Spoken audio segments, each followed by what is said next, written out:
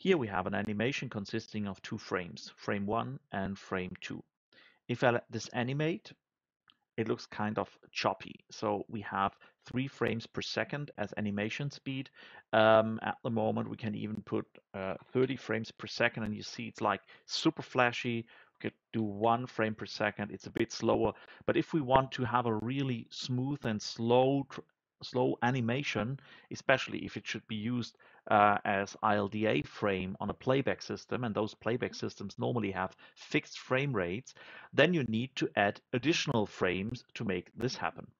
So let's stop the animation and let's see what happens if we hit morph all and enter, for example, 300.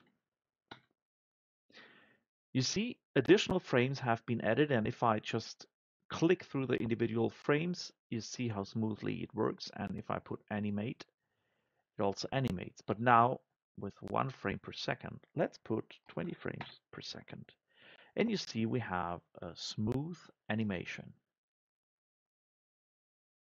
It's that easy. So you just hit morph all, add additional frames, and you get a smooth animation. And by adding more frames or less frames, you can control the speed if you have a playback system that works with a fixed frame rate.